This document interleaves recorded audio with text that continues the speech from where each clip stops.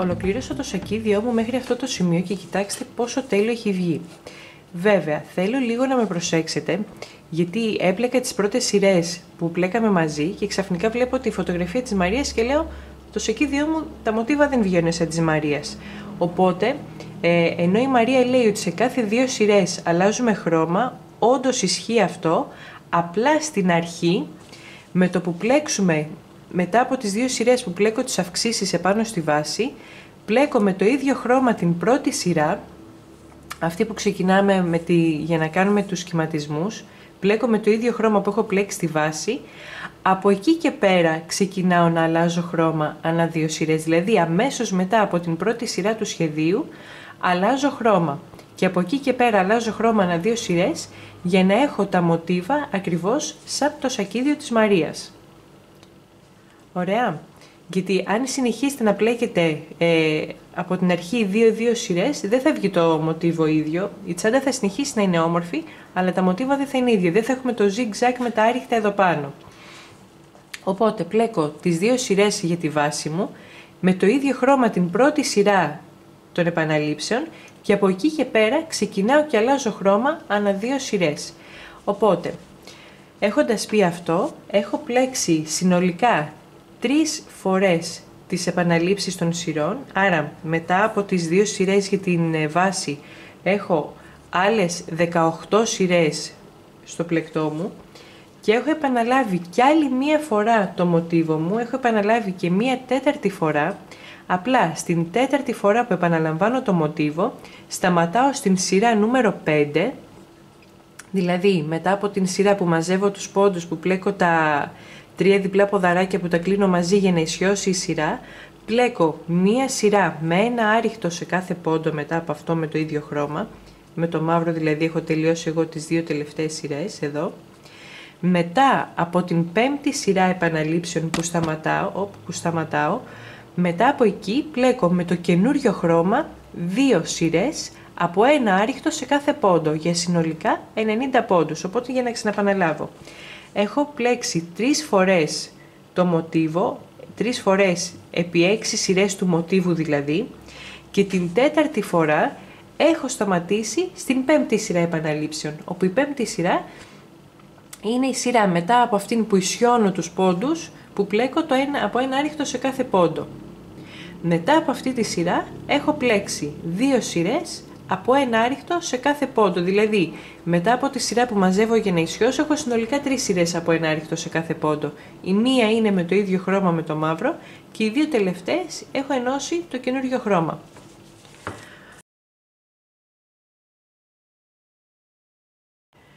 Πάμε να ξεκινήσουμε τώρα την επόμενη σειρά, όπου θα έχω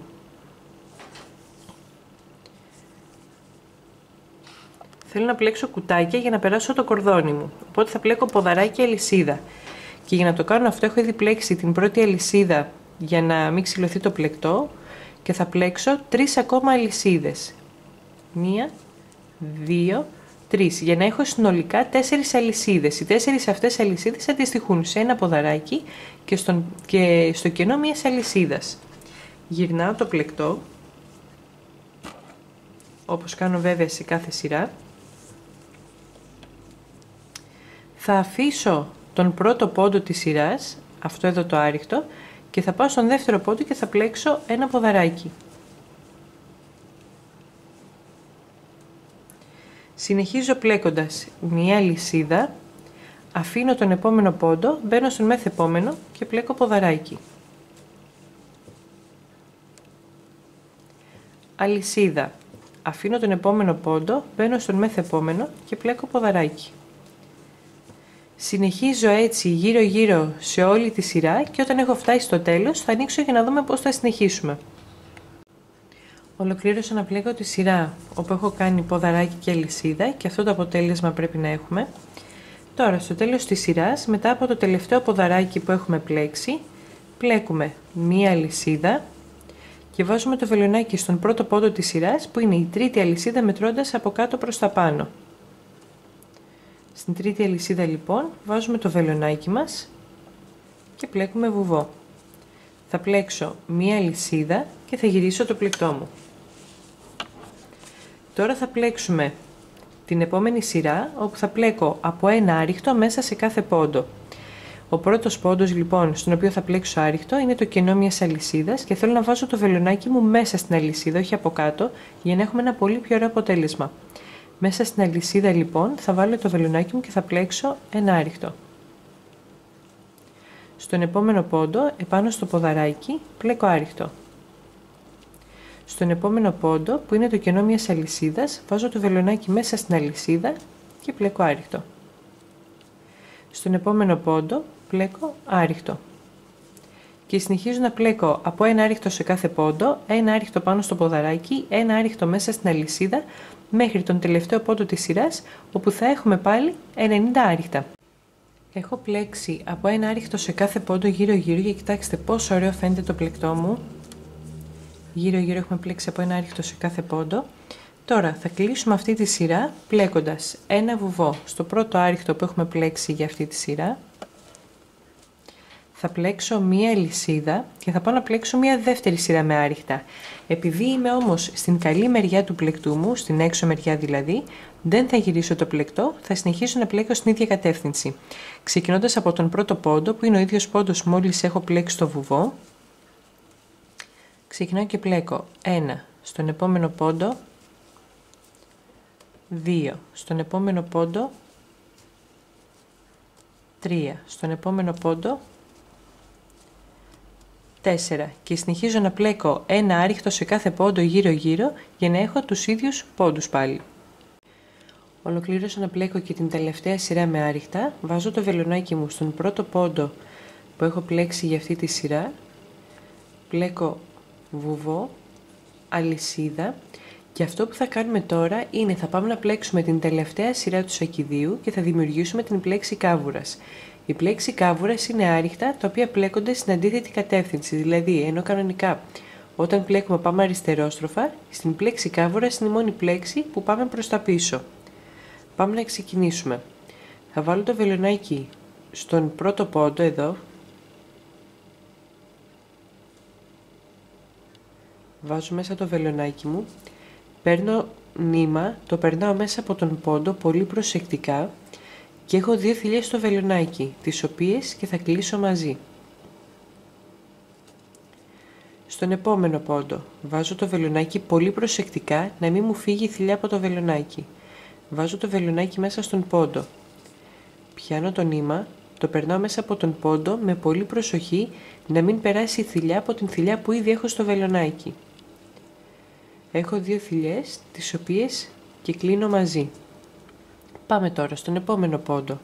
Βάζω μέσα το βελονάκι μου, πιάνω το νήμα, το περνάω με προσοχή μέσα από τον πόντο και έχω δύο θηλιές, τις οποίες και θα κλείσω μαζί και βλέπουμε ότι δημιουργείται ένα πολύ πολύ ωραίο αποτέλεσμα με την πλέξη κάβουρας. Κοιτάξτε, λες και στρίβει κλωστή είναι το, το κορδόνι μας. Πάμε στον επόμενο πόντο. Βάζω μέσα το βελονάκι μου, πιάνω νήμα, το περνάω με προσοχή μέσα από τον πόντο, έχω δύο θηλιές, τις οποίες και θα κλείσω μαζί σε έναν πόντο. Πάμε στον επόμενο πόντο. Βάζω μέσα το βελονάκι, πιάνω νήμα από πίσω, το περνάω με προσοχή μέσα από τον πόντο, και μετά κλείνω τις δύο θηλιές μαζί. Συνεχίζω έτσι γύρω γύρω μέχρι να έχω τελειώσει όλο το πλεκτό όταν φτάσω εδώ που θα είναι ο τελευταίος πόντος μέσα στον οποίο θα έχω πλέξει θα ανοίξω για να δούμε πώς θα συνεχίσουμε; Έχω ολοκληρώσει να πλέκω την πλέξη κάβουρας γύρω γύρω και κοιτάξτε πόσο φανταστικό αποτέλεσμα δίνει στο τέλος του πλεκτού μου. Τώρα, μιας που έχω πλέξει μέχρι και τον τελευταίο πόντο, θα βάλω το βελονάκι μου μέσα εδώ στην αλυσίδα που έπληξα για να ξεκινήσω και θα πλέξω βουβό. Παίρνω νήμα, το περνάω μέσα από την αλυσίδα και μέσα από τη θηλιά που έχω στο βελονάκι μου. Θα πλέξω αλυσίδα, κόβω το κορδόνι μου, τραβάω τη θηλιά και σφίγγω.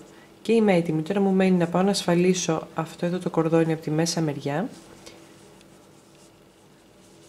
Και έτσι φαίνεται το σακίδιό μας σε αυτό το σημείο.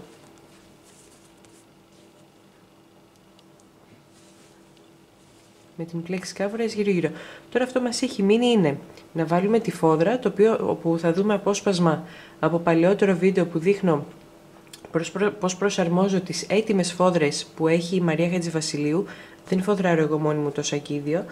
Ε, και μετά θα, θα δούμε πώς θα βάλουμε κορδόνι και τα λοιπά. Θα τα, θα τα δούμε όλα τώρα και θα πάμε να τα κάνουμε εκτός βίντεο.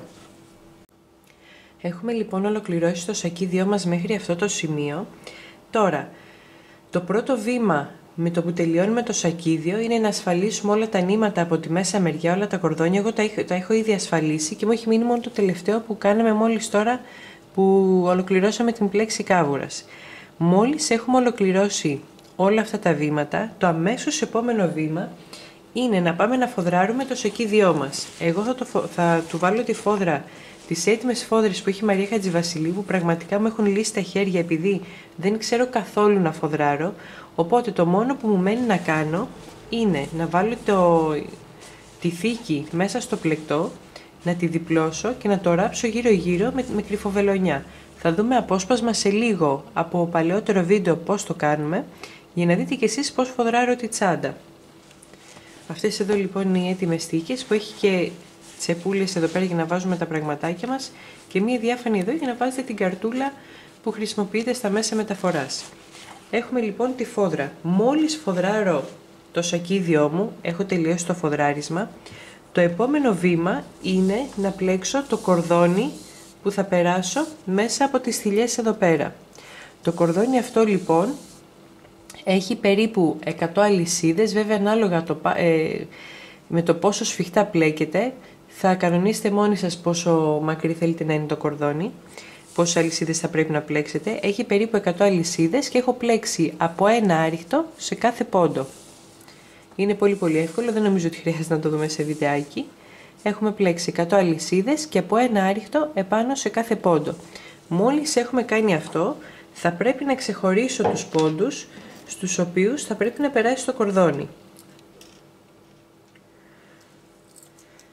Αυτό που θα κάνω είναι, όπως αναφέρει και η Μαρία μέσα στις γραπτές οδηγίες, θέλω να έχω από την κάθε μεριά 21 εκατοστά για να, για να περάσω το φερμουάρ. Τώρα, αν δεν θέλετε να έχετε φερμουάρ στο σακίδιό σας, ε, θα σας έχω το link και κάτω από το βίντεο, αλλά και στο τέλος του βίντεο και πάνω δεξιά, θα σας έχω το link για να πλέξετε ένα καπάκι, που το καπάκι αυτό είναι κατάλληλο για οποιοδήποτε σχέδιο θέλετε να δημιουργήσετε. Λοιπόν, η Μαρία μας λέει ότι θέλω να αφήσω 21 εκατοστά στην κάθε πλευρά. Οπότε, το συνολικό φάρδος εδώ πέρα είναι, θα ανοίξουμε και όλα καλά, το συνολικό φάρδος είναι 33 εκατοστά. Από τα 33 εκατοστά λοιπόν, θέλω τα 21 να είναι όλη αυτή η πλευρά. Άρα, αν κάνω 33 πλην 21, το αποτέλεσμα είναι 12. Αυτό σημαίνει ότι πρέπει να αφαιρέσω συνολικά 12 εκατοστά από την κάθε μεριά για να χωρέσει σωστά το φερμουάρ. Τα 12 αυτά εκατοστά θα τα διαιρέσω με το 2 και θα αφαιρέσω 6 εκατοστά από τη μία μεριά και 6 εκατοστά από την άλλη. Έχοντας λοιπόν τη μεζούρα μου εδώ πέρα, θα βάλω το πιαστράκι μου στα 6 εκατοστά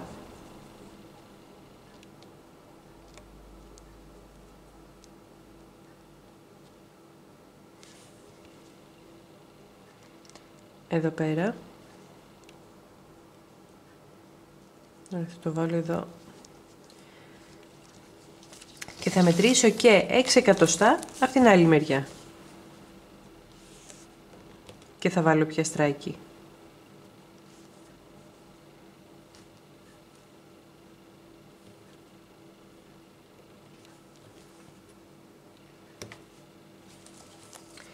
Τι σημαίνει αυτό; Ότι θα πάρω το πλεκτό και θα το διπλώσω προς τα μέσα μέχρι εδώ που έχω το πιαστράκι.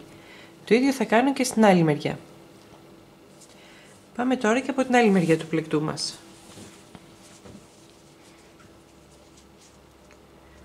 Θα ευθυγραμμίσω με την πίσω μεριά και εδώ που έχω το πιαστράκι στην πίσω μεριά, στον ίδιο πότο θα το βάλω και στην μπροστινή μεριά.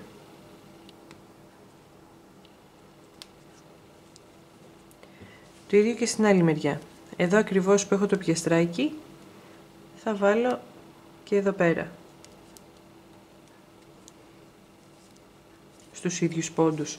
Άρα αυτό που κάνουμε είναι διπλώνω το πλεκτό σε αυτά εδώ τα σημεία να πάει μέσα και θα με βοηθήσει το κορδόνι να κάτσει έτσι το πλεκτό που έχουμε πλέξει.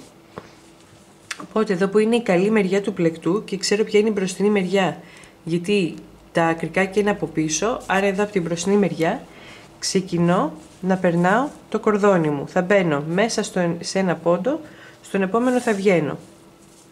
Οπότε μετράω τις τρύπες για να έχω ακριβώς από τη μία και από την άλλη, για να ξέρω πού θα βάλω το κορδόνι, για να είναι ακριβώς στη μέση.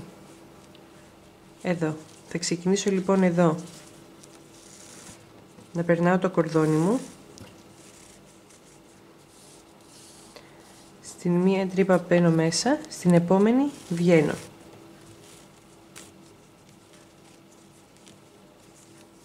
Στην επόμενη μπαίνω. Στην επόμενη βγαίνω.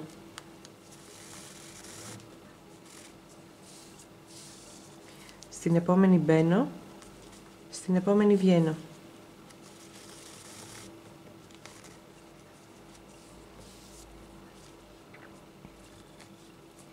Εδώ λοιπόν, αν το ευθυγραμμίσω στο περίπου, εδώ είναι που έχω το πιαστράκι μου.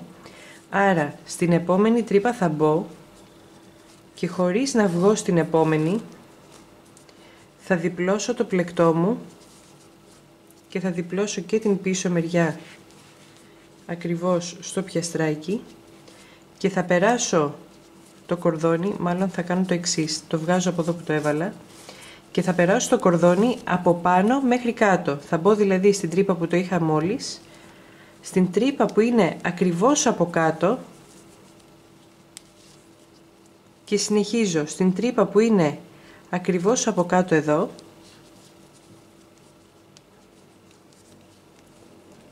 και μέχρι πίσω. Το περνάω από τη μία μεριά μέχρι την άλλη για να μου κρατήσει το σακίδιο διπλωμένο ακριβώς εδώ στα σημεία που θέλω. Συνεχίζω να περνάω.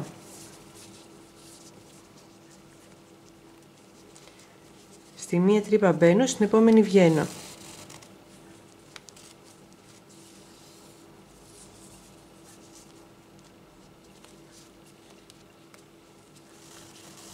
Συνεχίζω να κάνω τα βήματα μέχρι να φτάσω σε αυτή την τρύπα εδώ πέρα. Και εδώ λοιπόν που έχω φτάσει σε αυτή την τρύπα που είναι το πιαστράκι, διπλώνω πάλι το πλεκτό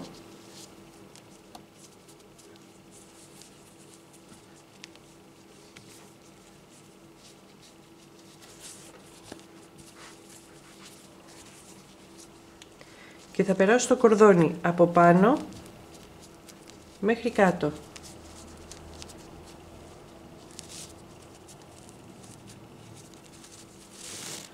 για να κρατήσει και αυτό το σημείο κλειστό. Και τώρα εφόσον μετρήσω το συνολικό φάρδος εδώ πέρα πρέπει να είναι 21 εκατοστά. Παίρνω τη μεζούρα μου και μετράω από τη μία μεριά μέχρι την άλλη και είναι ακριβώς 21 εκατοστά μέχρι την άκρη. Συνεχίζω λοιπόν να περνάω ένα μέσα, ένα έξω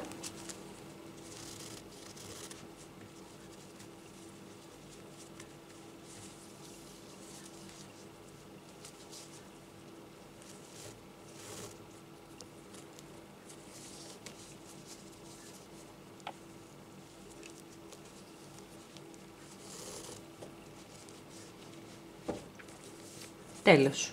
Περάσαμε το κορδόνι μας και μετά από αυτό το βήμα, αφού έχουμε περάσει το κορδόνι και έχουμε τελειώσει, θα πάμε να ράψουμε από την μέσα μεριά το φερμοάρ. Θέλει πολύ μεγάλη προσοχή. Εδώ που είναι το χεράκι σημαίνει ότι είναι η πίσω μεριά του φερμοάρ. Η πίσω μεριά του πλεκτού μου είναι εδώ που είναι τα κρικάκια Άρα εδώ θα βάλω το φερμουάρ μου από την μέσα μεριά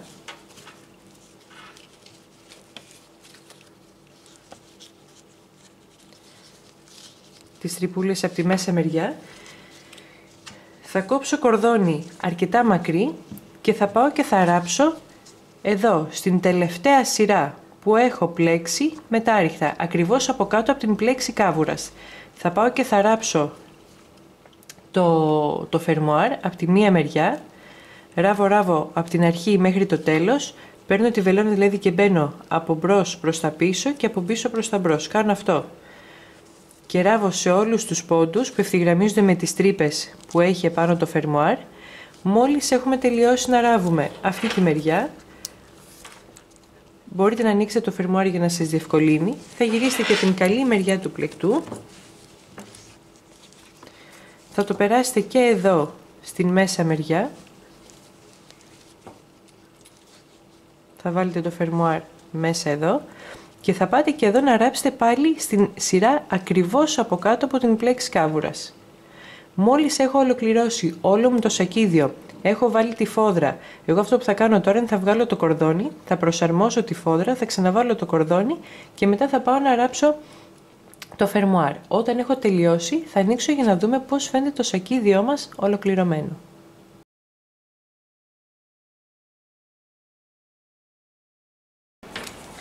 Τώρα, για να περάσουμε τη φόδρα, τοποθετούμε κάτω τη τσαντούλα μας όσο πιο ίσια γίνεται.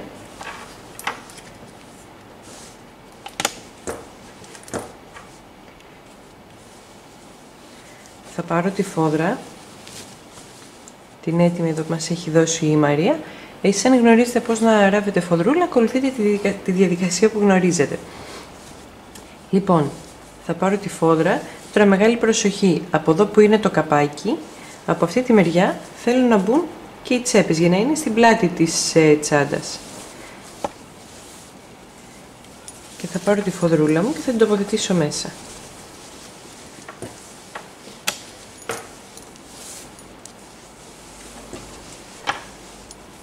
Τώρα εύχομαι να είναι σωστή η διαδικασία που κάνω, γιατί κάπως έτσι λέει και στο ίντερνετ ότι βάζουν τις φόδρες μέσα όταν τις έχουν ράψει. Αφού λοιπόν έχω τοποθετήσει σωστά την, ε, τη θήκη μου, πάνω εδώ βλέπω ότι περισσεύει αρκετά. Διπλώνω τόσο όσο χρειάζεται μέχρι το πάνω μέρος της φόδρας να έρθει κάτω εδώ. Κάτω από τη σειρά με τις τρύπες που έχω, γιατί οι τρύπες είναι το κορδόνι μου, οπότε δεν θέλω η φόδρα να περάσει πάνω από αυτό εδώ. Γιατί δεν θα μπορέσω μετά να περάσω το κορδόνι μου, οπότε θέλω η φόδρα να φτάσει μέχρι εδώ.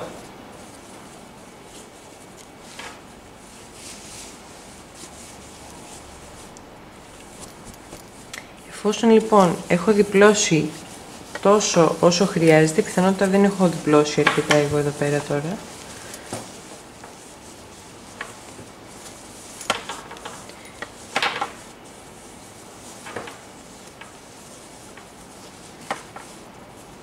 Αφού λοιπόν έχει φτάσει εδώ κάτω από τις τρυπούλες θα πάρουμε με καρφίτσες να βεβαιωθούμε κιόλας ότι την έχουμε περάσει ίσια τα πλαϊνά ή ραφές να είναι ακριβώς τα πλαϊνά της τσάντας μας. Θα πάρω καρφίτσες που πρώτη φορά το κάνω αυτό και έχω αγχωθεί.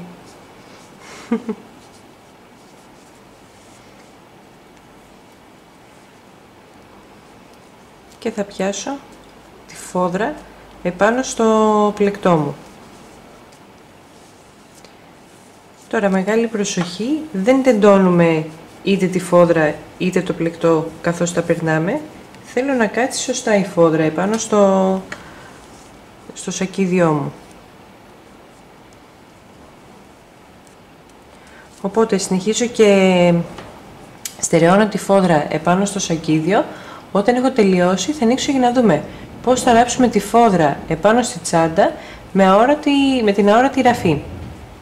Ολοκλήρωσα να στερεώνω τη φόδρα μέσα στη τσάντα, κατατρυπήθηκα και όλες το έχω ξανακάνει ε, και είναι έτσι σε αυτό το σημείο. Αυτό που έκανα, έπιασα τη φόδρα γύρω-γύρω σε μερικά σημεία μέχρι να βεβαιωθώ ότι είναι στο σωστό ύψος για μέσα τη τσάντα. Την ξεστερέωσα, δηλαδή έβγαλα όλες τις καρφίτσες και έπιασα μια καρφίτσα μπροστά και μια καρφίτσα πίσω για να κρατηθεί η φόδρα στο ίδιο σημείο και πήγα και σιδέρωσα λίγο το ύφασμα ώστε να κάτσει σωστά πάνω εδώ και να μην μου κάνει, να μην μου φουσκώνει. Και πάμε τώρα να δούμε πώς θα τη ράψουμε.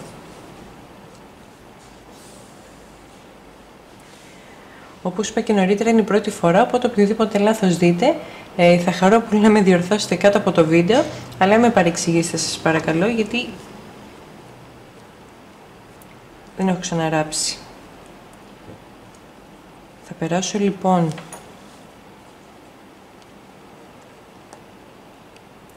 την κλωστή μου από μέσα να βγει πάνω, να βγει πάνω εδώ, στην άκρη.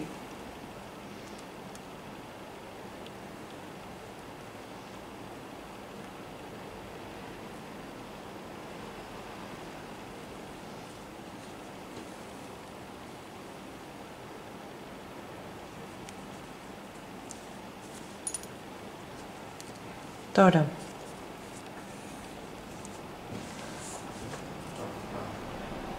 το δείξω μία-δύο φορές και θα πάω να ολοκληρώσω το βίντεο.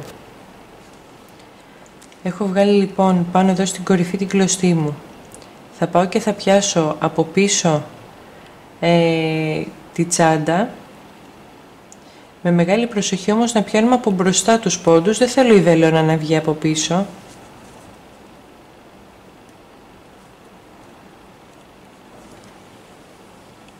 και περνάω.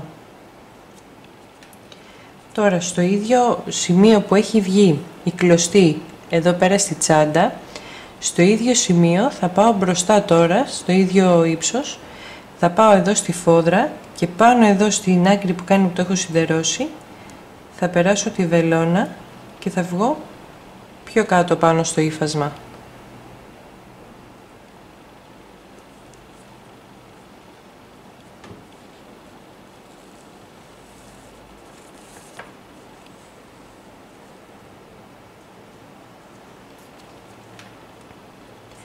Τώρα, εδώ στο σημείο, από εδώ που βγαίνει η κλωστή από το ύφασμα, στο ίδιο ύψος, στο ίδιο σημείο, θα πάω από πίσω στην τσάντα και θα περάσω την κλωστή στη τσάντα. Θα το κάνω να βγει λίγο πιο κάτω.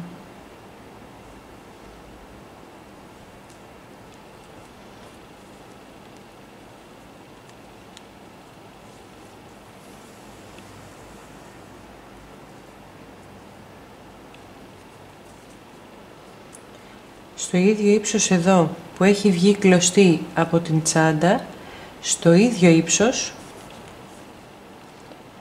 θα πάω στη φόδρα τώρα και πάνω εδώ στη μύτη θα βάλω τη βελόνα και θα βγω πιο κάτω.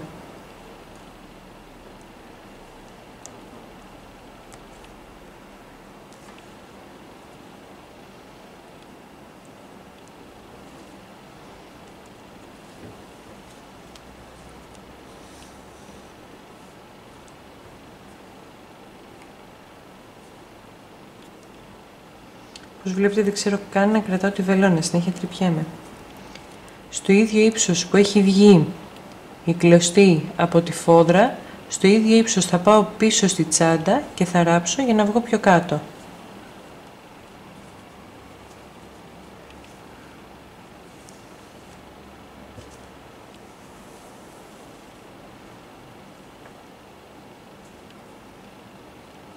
Και συνεχίζω να ράβω έτσι με αυτόν τον τρόπο μέχρι να έχω ράψει γύρω γύρω όλη μου τη τσάντα. Και βλέπω ότι όταν σφίγγω την κλωστή δεν φαίνεται τίποτα ούτε από τη φόδρα ούτε από πίσω, δεν βγαίνει καμία κλωστή. Αυτό το αποτέλεσμα θέλουμε να έχουμε ε, και ευχαριστώ πολύ τις φίλες από την ομάδα Ραπτική Βήμα Βήμα που με το που έγραψα το σχόλιο για το πώς να ράψω μία φόδρα ε, τι βελονιά να χρησιμοποιήσω απευθείας μου απάντησαν. Ε, Οπότε ακολουθώ την ίδια διαδικασία. Πάω μία στη τσάντα, μία στη φόδρα. Από το ίδιο σημείο που βγαίνει η κλωστή στη τσάντα, από εδώ μπαίνω, βάζω μέσα τη βελόνα στη φόδρα και βγαίνω πιο κάτω. Στο ίδιο ύψος που βγαίνει η κλωστή από τη φόδρα, πάω πίσω στη τσάντα και, πάω, και ράβω και πάω παρακάτω. Και συνεχίζω έτσι μέχρι να έχω ράψει όλη μου τη τσάντα. Μόλις τελειώσω να ράβω γύρω-γύρω, θα ανοίξω για να δούμε πώς φαίνεται η φόδρα μας έτοιμη ραμμένη και μετά πώς θα πάμε να πλέξουμε και το κορδόνι. Ολοκλήρωσα να ράβω τη φόδρα μου. Αυτό εδώ είναι το αποτέλεσμα που έχω γύρω γύρω. Πολύ ωραία βελονιά η αόρατη, πάρα πολύ ωραίο αποτέλεσμα. Δεν φαίνεται καθόλου. Και αφού έχω τελειώσει να ράβω, πιάνω εδώ την ακρούλα και σφίγγω λίγο και θα πάω από τη μέσα μεριά εδώ του υφάσματος να ράψω μερικούς κόμπους ένα-δύο κόμπους για να ασφαλίσω το, την κλωστή.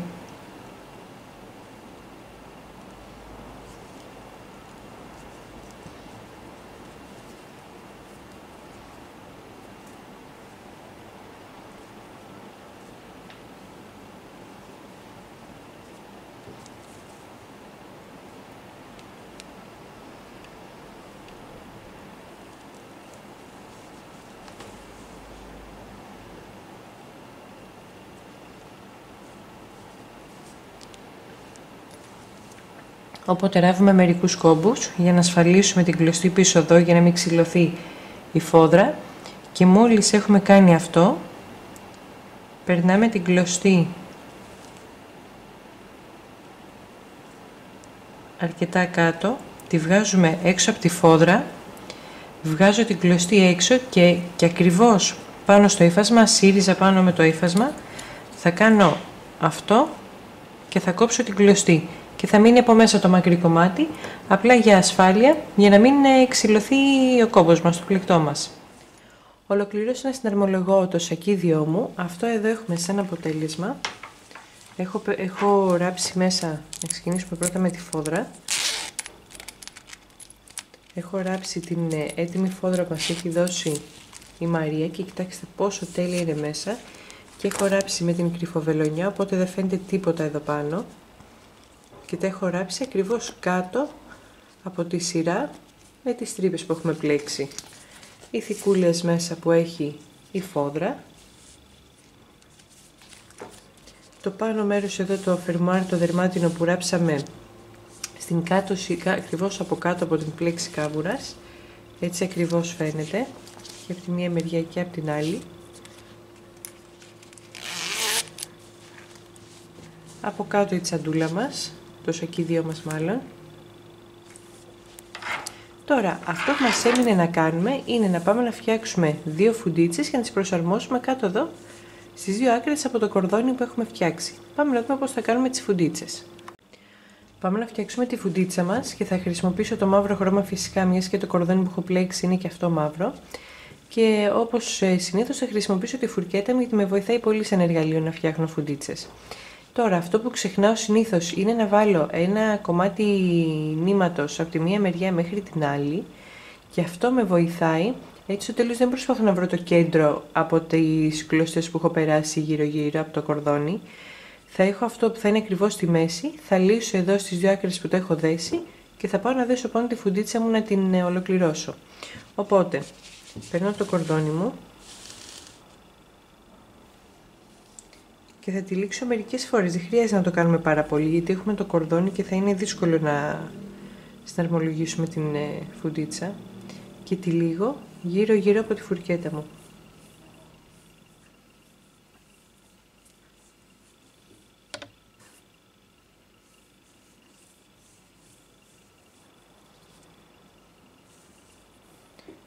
Αυτό που θα κάνω τώρα είναι θα κόψω το κορδόνι στο κάτω μέρος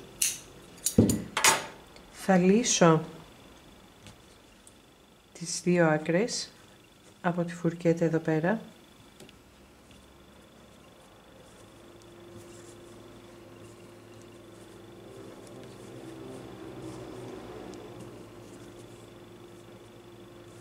και θα πάω επάνω εδώ να κάνω έναν κόμπο όσο πιο σφιχτό γίνεται.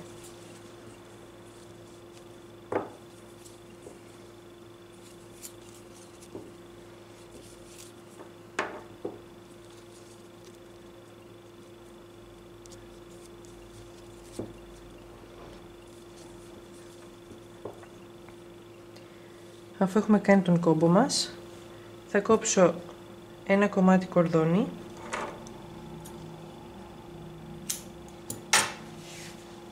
Το οποίο θα το χρησιμοποιήσω για να τυλίξω εδώ ακριβώς από κάτω.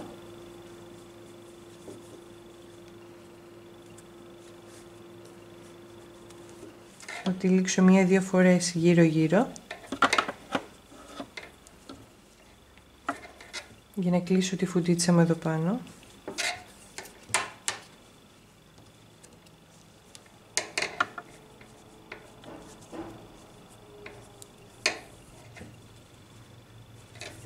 και θα κάνω και εδώ κόμπο.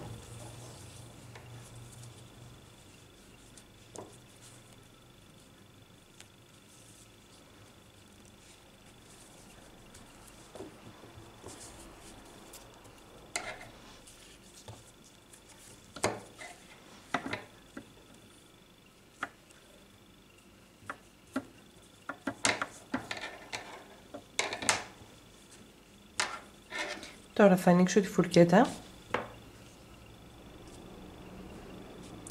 Θα βγάλω τη φουντίτσα από μέσα.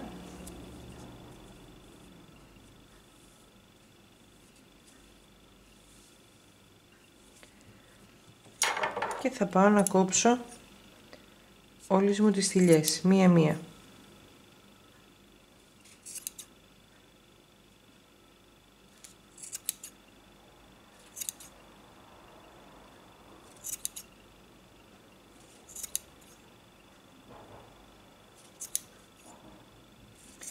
Μόλις βεβαιωθείτε ότι τις έχετε κόψει όλες τις ε, θηλιές, κόβω και την κλωστή με τις οποίες έδεσα εδώ πάνω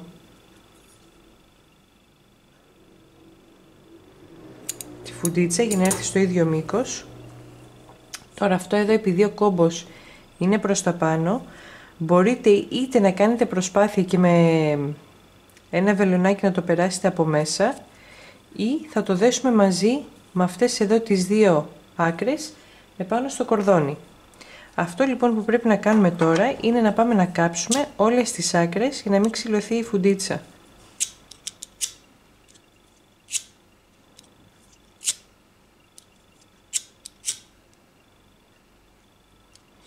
Και αφού έχετε κάψει όλες τις άκρες θα το κάνω εκτός βίντεο το υπόλοιπο κάψιμο.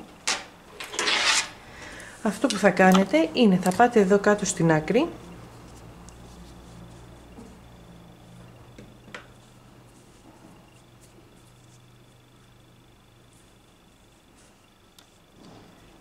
θα πάρετε το κορδόνι, θα το περάσετε από μέσα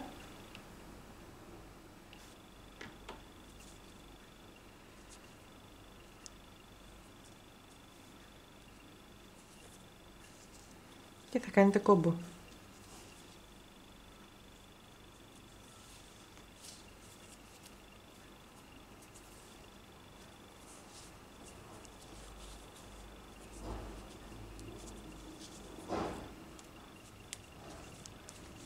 Και η πρώτη μας φουντίτσα είναι έτοιμη. Αυτά εδώ τώρα θα πάμε και θα τα ασφαλίσουμε πάνω εδώ στις ε, θηλιές από τα άριχτα. Τις τρεις αυτές εδώ κλωστούλες. Θα πάμε να τις ασφαλίσουμε εδώ στις θηλιές από τα άριχτα. Και η φουντίτσα είναι έτσι. Αν τη θέλετε τώρα πιο πλούσια, πιο χοντρή, που δεν θα το πρότεινα γιατί θα σας δυσκολέψει πάρα πολύ να κάνετε τον κόμπο, μπορείτε να περάσετε το κορδόνι μερικές φορές γύρω ακόμα από το εργαλείο σας, είτε είναι φουρκέτα ή οτιδήποτε έχετε για να φτιάχνετε ε, φουντίτσες. Με τον ίδιο ακριβώς τρόπο που θα πάμε να φτιάξουμε φουντίτσα και για την ε, άλλη άκρη, θα το κάνω εκτός βίντεο και μόλις έχω τελειώσει θα ανοίξω για να δούμε πώς είναι το σακίδιό μας ολοκληρωμένο. Ολοκλήρωσα και με τις φουντίτσες μου, τις προσάρμοσα και τις δύο, τις έχω, έχω ασφαλίσει εδώ μπροστά, έχω φέρει το κορδόνι μέχρι εδώ πάνω και απλά το έχω κάψει και το έχω κολλήσει πάνω στο κορδόνι. Για να μην μπεδεύεστε κι εσείς δηλαδή να προσπαθείτε να το ράψετε μέχρι πάνω. Έτσι είναι λοιπόν οι φουντίτσες μου. Έχω κάψει και τις άκρες για να μην ξυλωθούν. Αυτή εδώ μου έχει ξεφύγει, δεν πειράζει, θα το φτιάξω μετά. Έτσι είναι λοιπόν το σακίδιο μας ολοκληρωμένο και το κορδόνι με τις φουντίτσες μπροστά. Το είδαμε και πριν, να μην σας ξαναδείχνω πάλι τα ίδια σημεία. Ευχαριστώ πολύ για το χρόνο σας. Μην ξεχάσετε να πατήσετε εγγραφή. Ένα μεγάλο ευχαριστώ στη Μαρίχα Βασιλείου για τα υπέροχα υλικά που μας έστειλε να δημιουργήσουμε το πλεκτό μας. Τα υλικά της είναι 100% ελληνικά και τα κορδόνια μας δίνει και χρησιμοποιούμε, αλλά και τα δερμάτινα στοιχεία τα φτιάχνουν οι ίδιοι στο εργαστήριό τους. Και πάλι σας ευχαριστώ. Γεια σας!